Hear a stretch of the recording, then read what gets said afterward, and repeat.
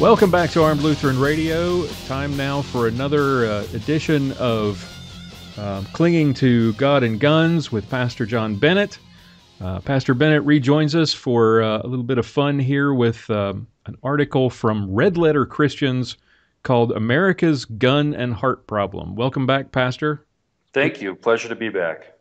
All right, let's get started. This is from Shane Claiborne from October of last year, so it's relatively recent. Um, this was in response to the um, the shooting at the Umpqua Community College in Oregon. So uh, here we go. This week's tragedy struck Oregon as 26 year old, I'm not going to mention his name, massacred nine people at Umpqua Community College. And this week marked the anniversary of the Nickel Mines massacre in Pennsylvania. Both are reminders that we have a crisis in America. We have 4.4% of the world's population, but almost half of the civilian owned guns. I didn't source that. Um, I'm not sure where that one actually came from. I've come across this before, and it, it's pretty close. Uh, we've got 42% of the world's guns. So America winning once again. That's right. um, I'm trying to. What is the source for this? Oh, it's Vox. And that ought to tell you something. Um, in just the last three years, we've had nearly a thousand mass shootings, and there's that statistic, which there's no real good um, uh, definition for what a mass shooting is. So, of course, the left basically uses whatever definition fits their political agenda. Right, right. Well, and what's interesting too is that many of these mass shootings, uh, they are committed by it's, it's cases of gang violence like what we see in Chicago. Right. And it also includes um, familicides. So you've got, um, you know, murder suicides. That counts as a mass shooting, um, which certainly would shouldn't. Uh, it's not the same thing as, say, Newtown or the Umpqua Community College shooting or even the Nickel Mines massacre. It's you know, some guy who loses his mind, gets depressed, and decides to kill his whole family. Completely different thing. Right, right. Um, killing over 1,200 people and wounding over 3,500. There is a mass shooting almost every day in America with four or more victims. In fact, we hold the Guinness Book of World Records for the most guns, nearly 300 million guns. Yay, America.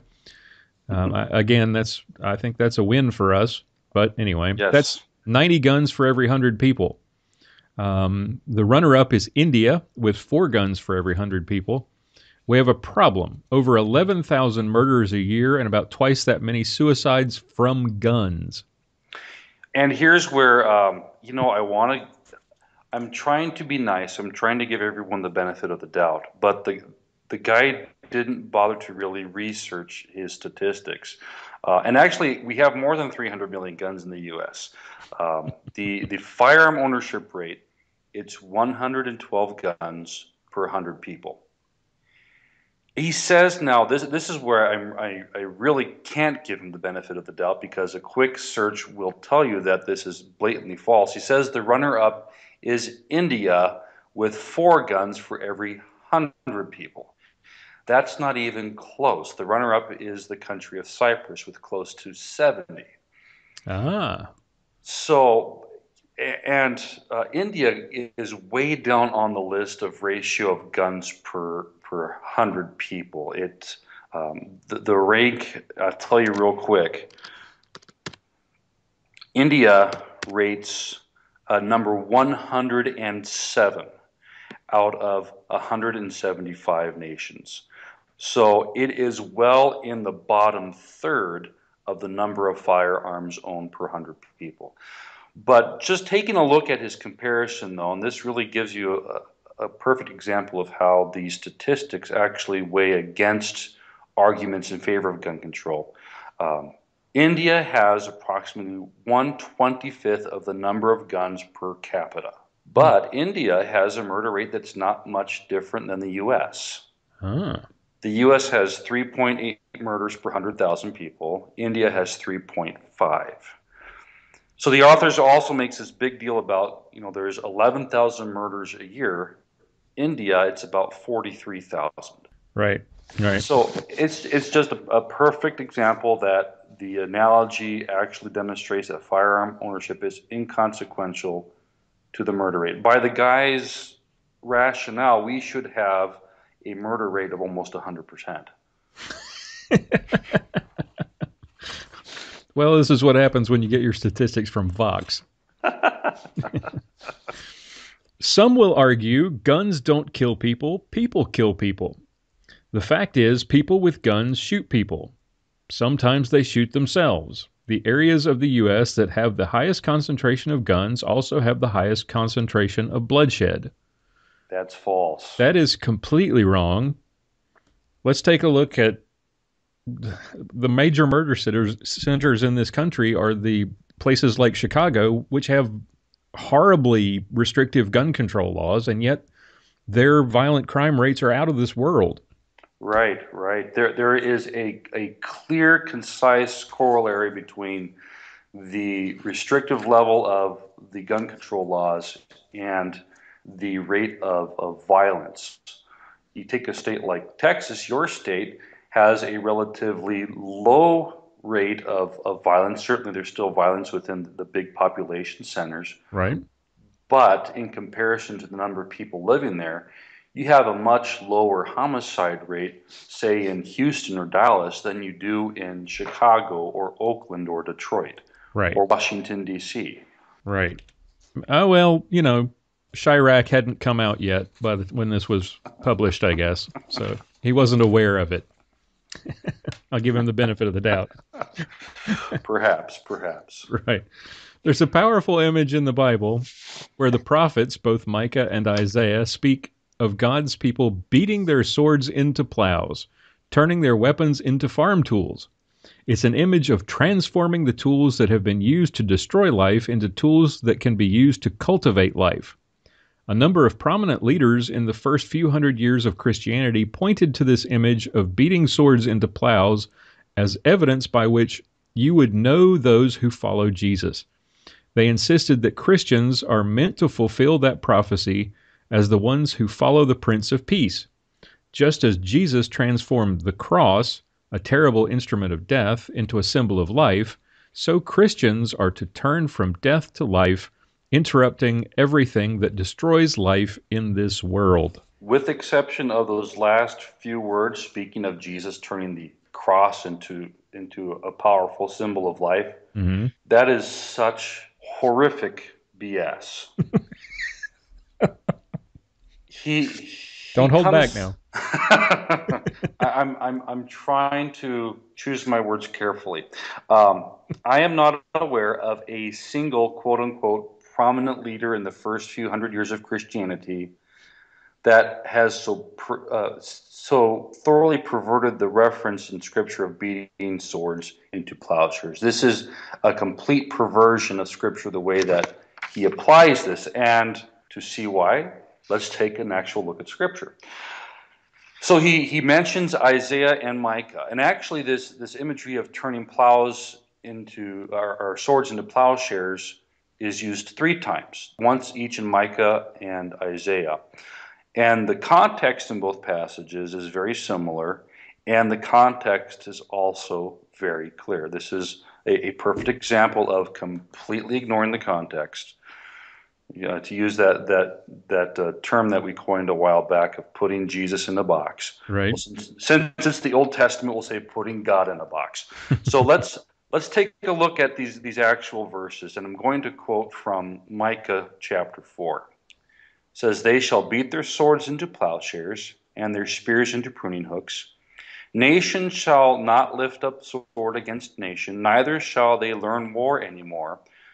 But every one shall sit under his vine and under his fig tree, and no one shall make them afraid. For the mouth of the Lord of hosts has spoken.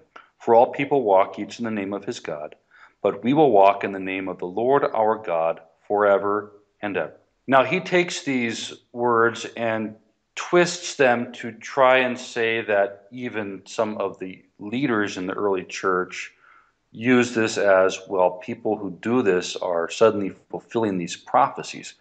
Wrong.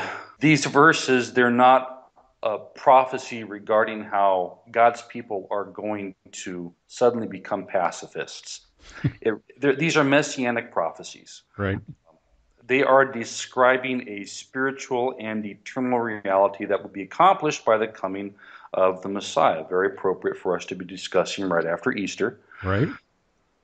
But what's more is that these words were used in contrast to the nearly constant state of war that God's people were in. So the prophets are, are, are more or less saying, now you are in a constant state of war. But when the Messiah comes, he will bring about an eternal reality of peace. So right. we really can't apply these verses in any way to, to temporal affairs because they aren't being written in that manner. They're written in such a way that they are prophetic messianic passages about the eternal reality that, that the Messiah would accomplish. In essence, that by the Messiah coming, when our lives are ended, we enter into eternal peace with him. Right.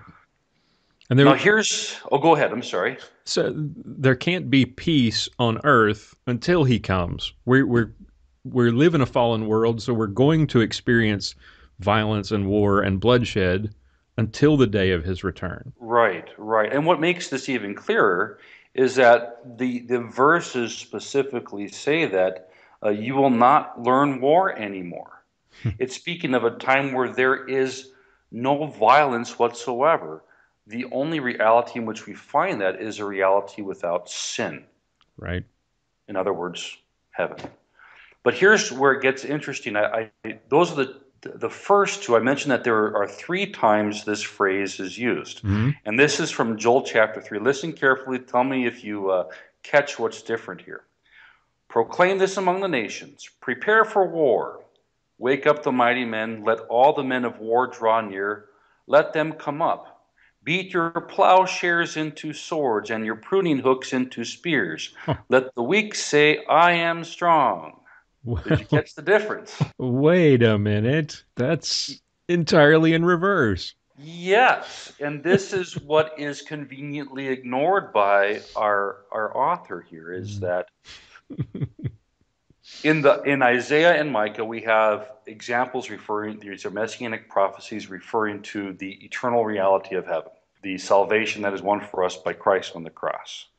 Joel is speaking of a temporal reality. Mm-hmm. That as part of our reality in this world, war is also included in that. So he's saying, prepare for war, turn your plowshares into swords. So when we take a this is a, a, perfect example of why whenever we are are taking a look at God's word, we have to also take a look at the context. The context is speaking in, in Joel chapter 3 of the end times when there will be great turmoil in the world, especially for God's children. Right. So, this idea that somehow we have a command from God to take our guns and beat them into gardening tools truly is a blasphemous perversion of God's word again, like you said, putting God in a box, um, making God fit your political agenda. Yes, and and the thing that that also bothers me here is that with examples like this, when we have people who claim from a Christian perspective to provide this interpretation, in many ways they are insulting the the intelligence of their audience because they are assuming that their their readers aren't going to look into this for themselves that they are going to be so naive as to simply take them at their word. Well, unfortunately, they're probably right. indeed. Indeed. So back to the article. Certainly we have we Christians have lost sight of that vision over the centuries and we have often been the ones carrying the guns rather than the ones beating on them. Christians have sometimes exchanged the cross of Christ for the sword of Rome or the guns of America. Lord have mercy. But there's a group of Christian blacksmiths who you might consider fundamentalists of the best kind because they are that's, a nice jab because they are taking these swords to plows verses literally these metal workers known as raw tools Raw is war turned around, after all, are literally forging peace. They take donated guns, AK 47s, and handguns, and they heat them up in a forge and beat them into oblivion. Well, and, and the stupid part of this. What? they say that by doing this, they are forging peace. I don't see the peace. How's that working out? It's not. It. I mean, especially just on the on the back of the terrorist attacks in Brussels, Iraq, and Pakistan. Their efforts obviously have been uh, gone unnoticed by the radical Muslim terrorist world. They would have been better off to pack those guns up and ship them to the Christians in the Middle East. indeed, indeed, and you know what's also so so irritating about this. Part of it, of course, I understand it's their ideology. They want to destroy guns. They then take these and provide. They turn these into tools for people to use in poor third world countries. They didn't include that in the in the article, but I I read that on the um, organization's website. If you want to provide low cost tools for people living in the third world, take the donated guns, sell them, and you can probably buy a hundred times the number of tools. Yes. there are plenty of law abiding citizens who are going to use those firearms responsibly. Yeah. And you'd make so much more money for this worthy cause if the if the if the goal was really helping poor people in the third world, which it's not. Let's... No, and, and as purely as a matter of law, these guns wouldn't be, for example, quote unquote machine guns, as the liberals like to call them, um, because guess what? They couldn't lawfully even hold those firearms unless they were with a, a federally licensed dealer. Right. Um, so it's, I, I, would like to see the, the, the, guns that they're they're doing this to. I'm guessing they're a bunch of old Hi-Points that no one wanted. Those things won't melt down. I've teamed up with them over and over. Something just feels right about taking some of these 300 million guns and beating on them. I've beaten on guns alongside victims of gun violence who lost their kids, alongside police chiefs and activists, and alongside a woman named Terri Roberts. Uh, she's the mother of the man responsible for the nickel mine shooting nine years ago. There's something incredibly moving about seeing Terri pick up a hammer and beat on the barrel of a gun. But it wasn't just about the gun. Terri Roberts is a living witness that God is transforming hearts, not just metal. Well, that's that may be true, but it's not through the action of beating on the gun that God is doing the work.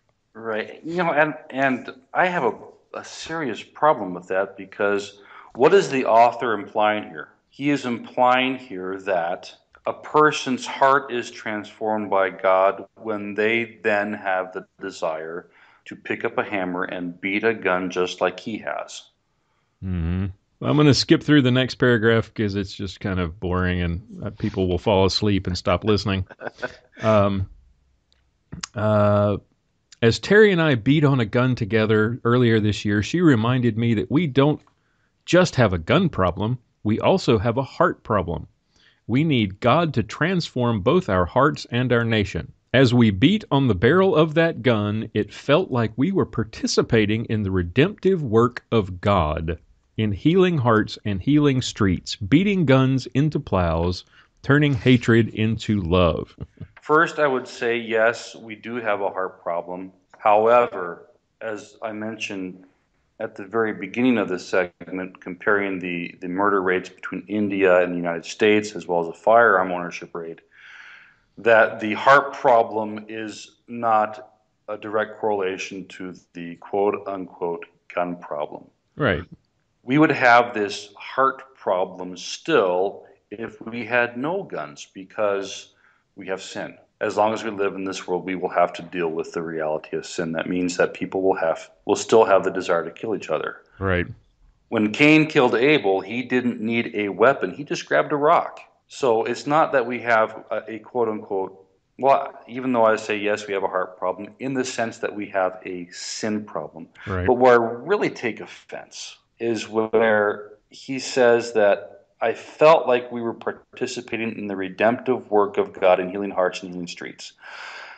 But they're not. no, and that is so offensive to Christ because he is the one mm-hmm. does the redemptive work by letting sin be nailed to his body on the cross. If we could do the redemptive work, we wouldn't need him. And if we didn't have him, we would all be eternally lost. But this yep. this argument is so upsetting to me because it essentially takes the entire argument of, of gun control and tries to equate it to Christ's work for us. Mm-hmm. Yep.